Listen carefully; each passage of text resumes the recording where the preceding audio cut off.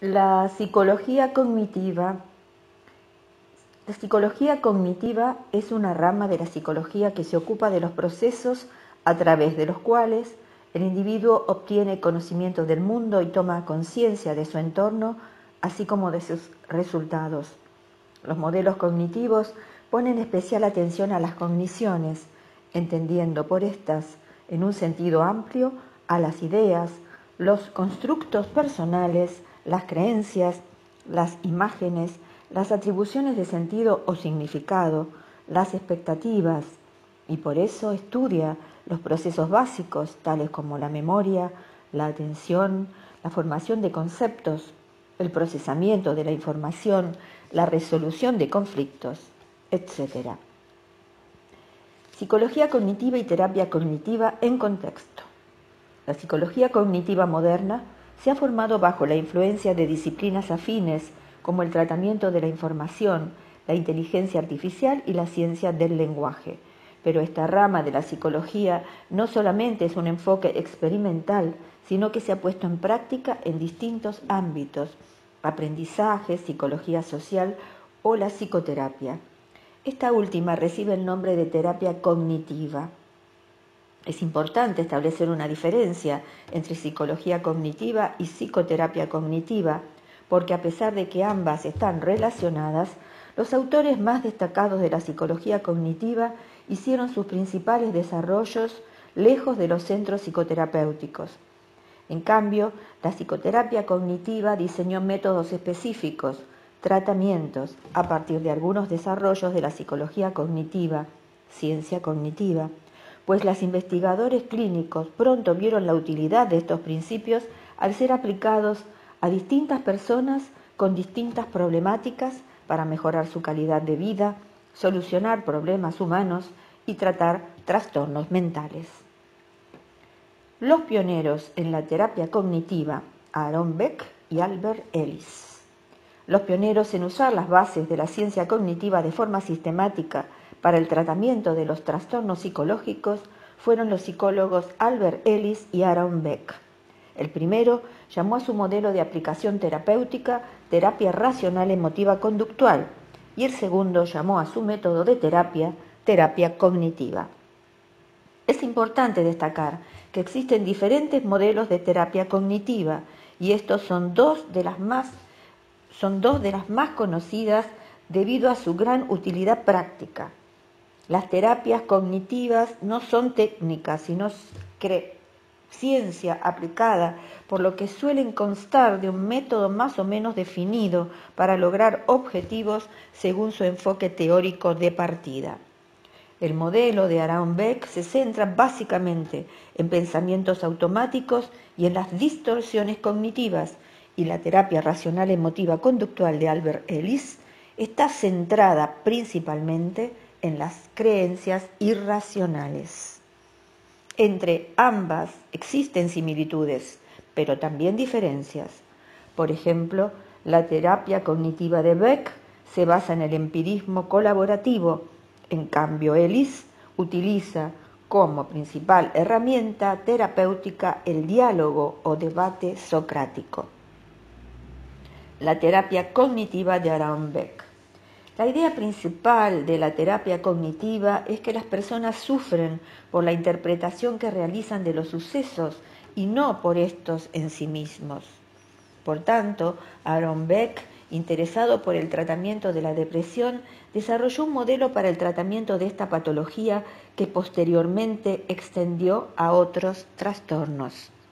El modelo de Beck y también el de Ellis. Son una parte importante de las estrategias que se emplean dentro de la terapia cognitivo-conductual, pues a través de la reestructuración cognitiva un individuo es capaz de modificar el modo de interpretación y valoración subjetiva de los hechos y de las situaciones que vive, y de esta manera se estimula a éste para que altere los esquemas de pensamiento desordenados y se vea a sí mismo y al mundo de forma más realista y adaptativa.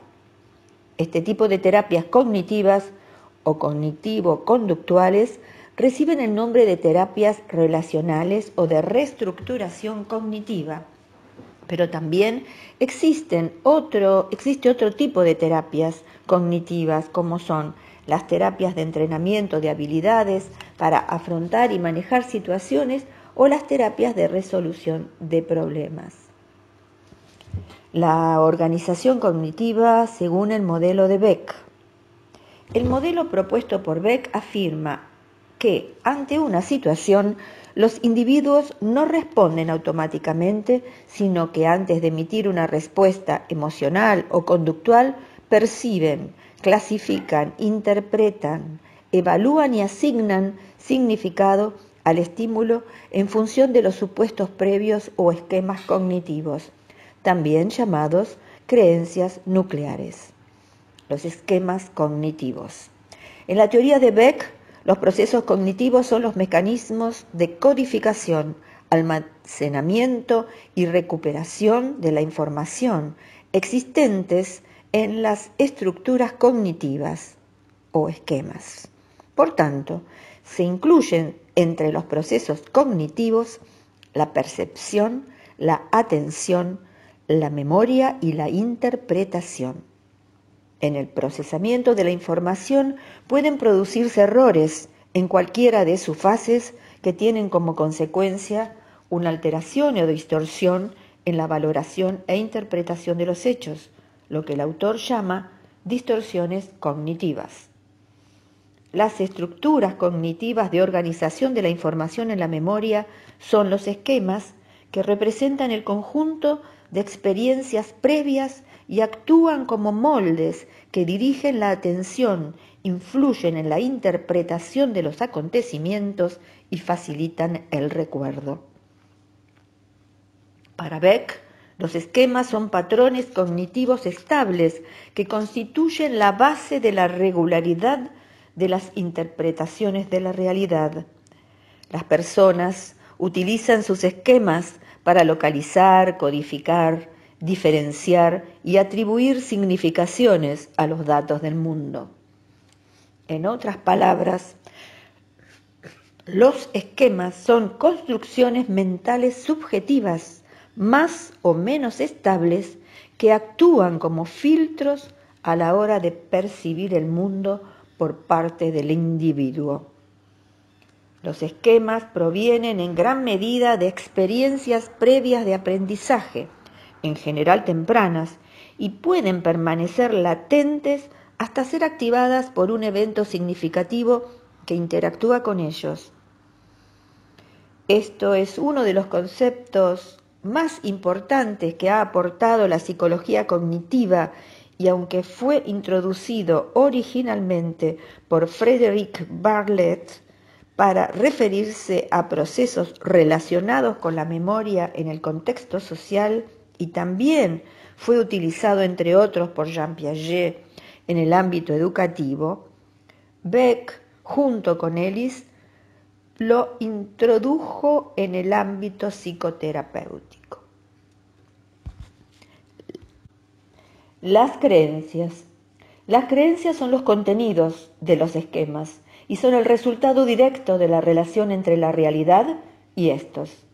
Son todo aquello en lo que uno cree, son como mapas internos que nos permiten dar sentido al mundo, se construyen y generalizan a través de la experiencia.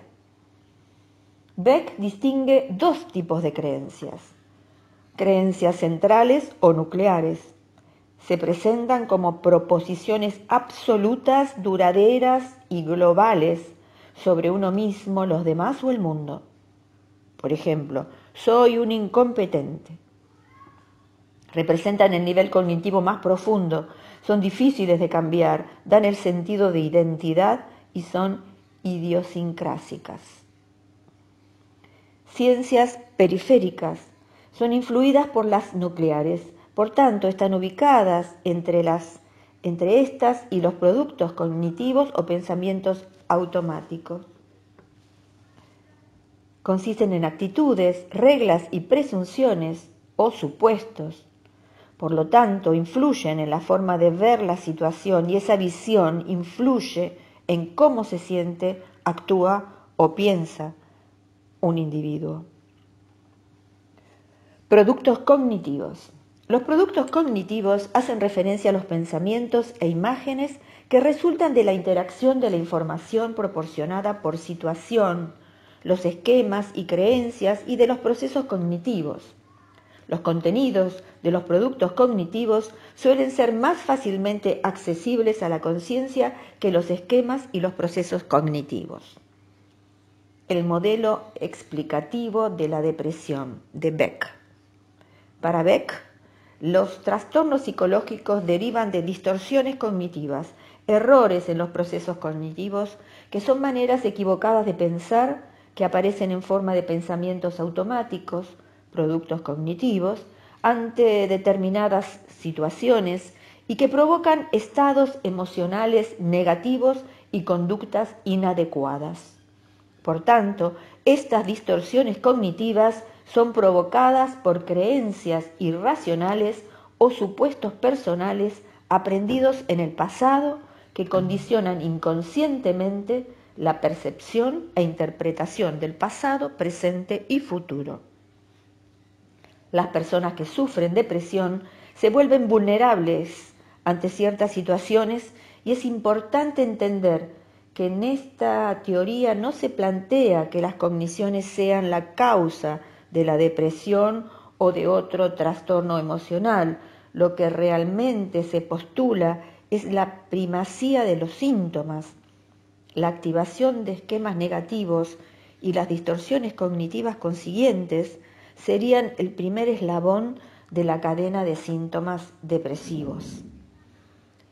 La triada cognitiva en las personas con depresión. Cuando una persona se enfrenta a una determinada situación, el esquema es la base para transformar los datos en cogniciones. Puesto que los esquemas que se activan en una determinada situación van a determinar el cómo responde esa persona, en las personas que padecen un trastorno depresivo se activarán esquemas inadecuados. Por tanto, el primer síntoma depresivo es la activación de esquemas cognitivos relacionados con la visión de uno mismo, el mundo y el futuro. Las personas con esquemas negativos o tendencia a cometer errores de procesamiento serán más proclives a padecer trastornos depresivos. La triada conectiva se refiere a tres esquemas característicos que inducen al individuo depresivo a percibirse a sí mismo, al mundo y al futuro desde un punto de vista negativo. De estos tres patrones cognitivos se derivan el resto de síntomas depresivos que sufren. El esquema característico que sufren las personas deprimidas y que Beck denomina la tríada depresiva consiste en una visión negativa de uno de sí mismo. Las personas que padecen depresión suelen considerarse deficientes e inútiles. Atribuyen los errores que cometen a un defecto físico, mental o moral suyo y piensan que los demás les rechazarán. Dos, del mundo. Se sienten como derrotados socialmente y no están a la altura de las exigencias, ni tienen la capacidad de superar los obstáculos. Tres, del futuro. La persona que padece depresión piensa que esta situación no se puede modificar, por lo que seguirás así siempre. Distorsiones cognitivas.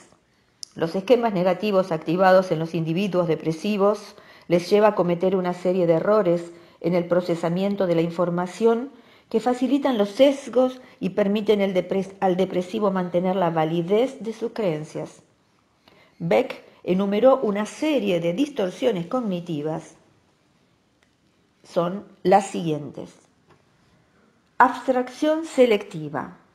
Se trata de prestar atención a un solo aspecto o detalle de la situación. Los aspectos positivos se suelen ignorar, dando más importancia a los aspectos negativos. Pensamiento dicotómico. Los acontecimientos se valoran de forma extrema, bueno, malo, blanco, negro, todo, nada.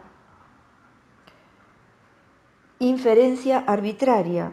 Consiste en sacar conclusiones de una situación que no, está apoyada por los hechos incluso cuando la evidencia es contraria a la conclusión.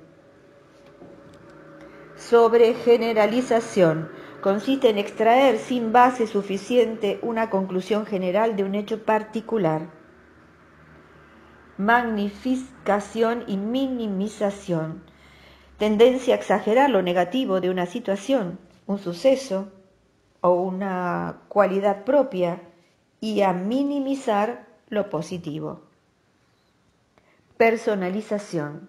Hace referencia a la costumbre de relacionar los hechos del entorno con uno mismo, mostrándose susceptible. Visión catastrófica. Adelantar acontecimientos y de entre las distintas opciones pensar que siempre va a ocurrir lo mejor, lo peor. Deberías. Consiste en mantener reglas rígidas y exigentes sobre cómo deben suceder las cosas.